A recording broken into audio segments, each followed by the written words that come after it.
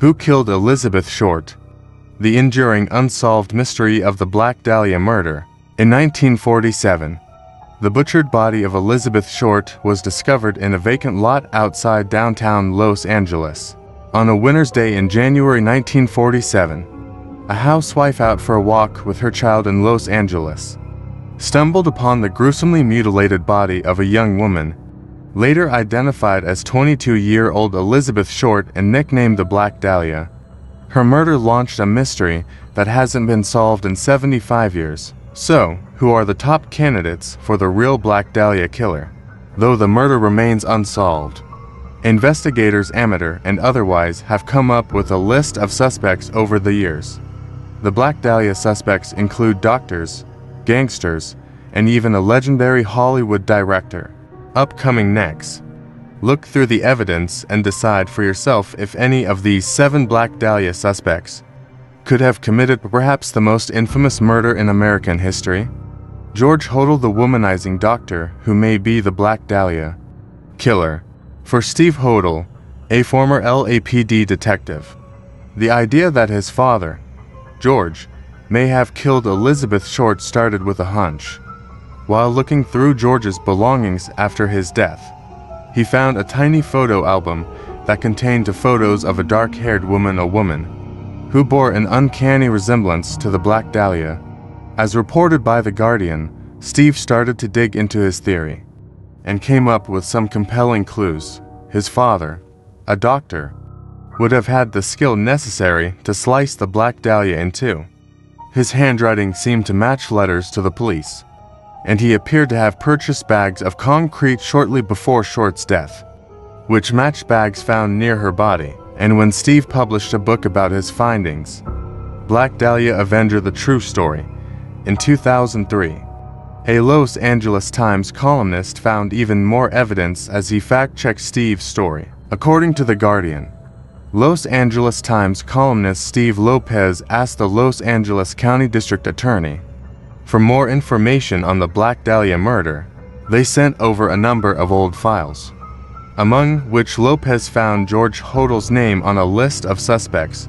What's more, Lopez found that the police had even bugged George Hodel's home in the 1950s. On February 19, 1950, the recording device picked up a woman's scream. Later, it recorded George talking on the phone with someone and telling them realize. There was nothing I could do. Put a pillow over her head and cover her with a blanket. Get a taxi expired 1259. They thought there was something fishy. Anyway, now they may have figured it out. Killed her. The doctor added supposing I did kill the Black Dahlia. They couldn't prove it now. They can't talk to my secretary anymore because she's dead. But George Hodel ain't the only compelling potential. Black Dahlia killer out there. Leslie Dillon and Mark Hansen, two of the prime Black Dahlia suspects, one theory about the Black Dahlia murder posits that it wasn't one person who killed Elizabeth Short, but perhaps as many as three. Author Piu Eatwell argued in her 2017 book, Black Dahlia, Red Rose, that the murder was carried out by Leslie Dillon and Jeff Connors at the behest of a Los Angeles nightclub owner named Mark Hansen. As Eatwell explains, one of the first clues about the Black Dahlia murder came shortly after Short's body was found. On January 24, 1947, the Los Angeles Examiner received a number of Short's belongings in the mail, including her birth certificate, social security card, and a number of photos. The bundle also contained an address book with the name Mark Hansen on the front. Short had allegedly stayed a couple of nights with Hansen a nightclub owner with friends in the LAPD. Before her death, and Hansen had allegedly pursued the aspiring actress, though Short rebuffed him. Two years later, the LAPD seemed to get a break in the case when a man who called himself Jack Sand called and started to make claims about the Black Dahlia case. He said that a man named Jeff Connors had killed Short because, per Rolling Stone, she threatened to reveal an affair not considered proper by the average person. What's more, Sand, whose real name was Leslie Dillon, knew details about the Black Dahlia case that the police had kept secret and he just happened to have worked for Mark Hansen in the past. Though neither Dillon nor Connors nor Hansen were ever charged. Eatwell suspects that the three men worked together to kill Short. She believes that the men killed her at the Astor Motel, where Dillon was staying, and where the motel owners later admitted to finding a room covered in blood and fecal matter. Round the time of the killing, witnesses also remembered seeing a dark-haired woman there, as well as a man who looked like Hansen, but none of the three men were ever charged with murder. Hansen himself seemed to shrug it off when discussing the Black Dahlia murder in 1971, saying, According to Fox News, she just asked for trouble. She probably went too far this time and just set some guy off into a blind, berserk rage. The gangster and the newspaper publisher, who may have killed Elizabeth Short, while George Hodel, Mark Hansen, Leslie Dillon, and Jeff Connors are compelling candidates for the Black Dahlia killer. One author claims that there's another duo who may have killed the young actress. Donald H. Wolfe wrote in his 2006 book The Mob, The Mogul, and the Murder That Transfixed Los Angeles, that Elizabeth Short was murdered by the gangster Bugsy Siegel, at the request of newspaper publisher Norman Chandler. Why, as Wolfe tells it, Chandler, the publisher of the Los Angeles Times, had a brief sexual relationship with Elizabeth Short and when the aspiring actress got pregnant, he enlisted Siegel to kill her. Like Steve Hodel, however, Wolfe came up with his theory, based more on a hunch than hard evidence. As he explained to The Guardian, Wolfe grew up knowing a man named Uncle Vern, who worked for the gangster, and Vern seems to have suggested, over the years, that Siegel could have had something to do with the infamous Black Dahlia murder, until Wolfe's work Bugsy Siegel hadn't been considered a Black Dahlia suspect. The gangster had risen to power in New York City before moving to Los Angeles in the 1930s. He infamously poured millions into the Flamingo Hotel in Las Vegas, helping to jumpstart the city's growth before being mysteriously murdered himself on June 20th, 1947. But Wolfe says that it's Siegel's implausibility that makes him such a good Black Dahlia suspect Siegel and Chandler were so powerful, he said, that the LAPD helped them to cover up the murder.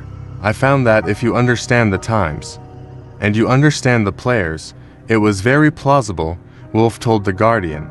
The public thought that the LAPD gangster squad's job was to arrest the criminals in Los Angeles, but their real function was to protect the criminals who were making the payoffs and arrest those who weren't.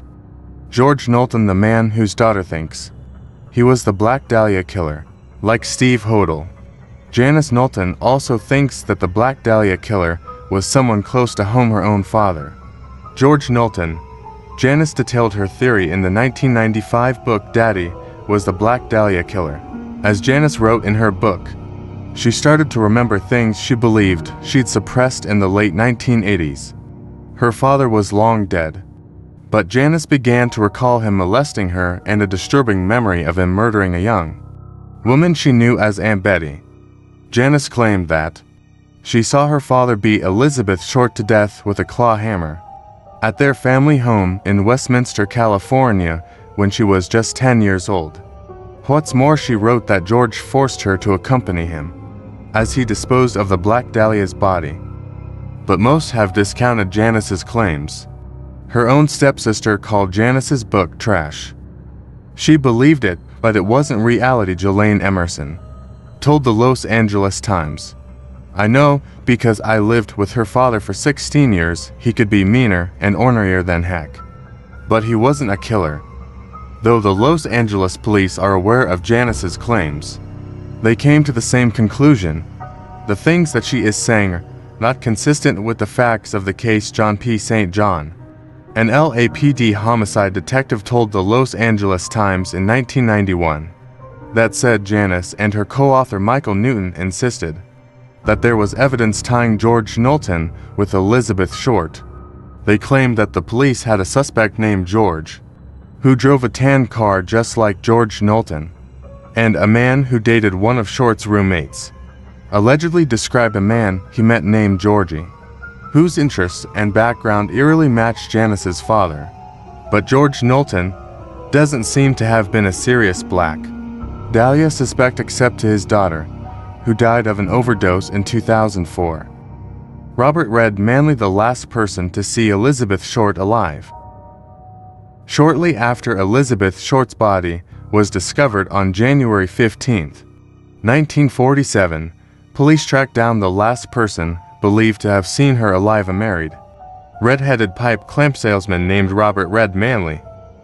As Manley told police, he first met Short in late 1946, when he struck up a conversation with her on a street corner. He said I asked her if she wanted to ride. She turned her head and wouldn't look at me, he said in a 1947 interview reported by the Los Angeles Times. Finally, she turned around and asked me if I didn't think it was wrong to ask a girl on a corner to get into my car. That auspicious beginning was the start of their relationship. And when Short needed a place to stay after the holidays, she sent Manley a message and asked him to pick her up. Manley and Short stayed in a hotel together chastely according to Manley and then Manley drove Short to Los Angeles. According to the Los Angeles Times, Short had lied and said she was meeting her sister at the Biltmore Hotel when her sister hadn't shown up by 6.30 p.m. On January 9th, Manley left Short at the hotel to go home to his family, though police considered him a Black Dahlia suspect. Manley passed a polygraph test, yet he spent the rest of his life struggling with his mental health. The Los Angeles Times reports that his wife had him committed in 1954 because he was hearing voices. That same year, doctors gave Manley sodium pentothal, which can allegedly make people more truthful, and asked him about the Black Dahlia case. Manley stuck to his story. Robert Manley died on January 9, 1986, exactly 39 years. After he left Elizabeth Short at the Biltmore Hotel with a cloud of suspicion still on him. Walter Bailey, the surgeon who may have killed Short, in a fit of rage, Despite the Black Dahlia suspects considered over the years, LAPD detectives long suspected that Elizabeth Short's killer was a skilled surgeon. After all, someone had expertly cut her body in two. And Los Angeles Times columnist Larry Harnisch believes that Walter Bailey was the doctor. Who did it? When Harnisch started digging into the case in 1996, he found some unsettling connections between Bailey and the Black Dahlia murder. As explained by the Washington Post, Bailey's daughter knew Short's sister, the doctor, had an office near the Biltmore Hotel, where Short was last seen and her body was dumped a block away from Bailey's ex-wife's house. What's more, Bailey seemed to match the profile of Short's killer, drawn up by FBI profiler John Douglas. As Harnisch wrote, he was desensitized to blood was comfortable with a knife and although he had a medical degree, he did work with his hands, rather than his brains. He also had a strong, but troubled link to the immediate vicinity of the crime scene. Harnisch believes that the doctor fresh from a divorce and suffering from undiagnosed Alzheimer's disease may have crossed paths with Short, somewhere near the Biltmore Hotel. After spending a few days together, Harnisch suspects something happened to incite Bailey's rage. Possibly Short rebuffed him. Possibly she told a lie she told before about having a son who had died at a young age. As History Collection notes, Bailey actually did have a son who died at a young age, and Short's body was found two days after the anniversary of his death. The kicker of course, is that Short's body was found a 45 second walk from where Bailey's ex wife lived. Harnisch contends that it's possible Bailey dumped her there to terrorize his ex wife. Orson Welles, why some suspected him as the Black Dahlia killer. Of all the Black Dahlia suspects listed here, perhaps the most surprising one is also the most famous acclaimed director and actor Orson Welles. Mary Pacios discussed her theory about the famous filmmaker in her 1999 book Childhood Shadows The Hidden Story of the Black Dahlia Murder. Pacios, who grew up with Elizabeth Short in Medford, Massachusetts, started researching the case. to dispel myths about Short being a sex worker and a nobody.